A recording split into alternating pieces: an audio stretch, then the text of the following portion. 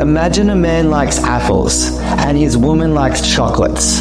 They're both in a relationship. The man wants to show his love and care to his woman, so he gives her this apple. The woman takes the apple and then throws it away. That's because she likes chocolates, not apples. And when she tries to show her love by giving him chocolates, the man also throws the chocolate away. After this reaction, both the man and the woman feel rejected. Why doesn't she appreciate my efforts? Why doesn't he care about me?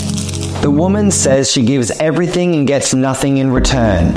And the man says that he gives everything and gets nothing in return. This is what happens when you don't understand each other's needs. Men and women are different. They both value different things. A man might value respect, appreciation, and effort, while a woman might value emotional support, understanding, and reliability.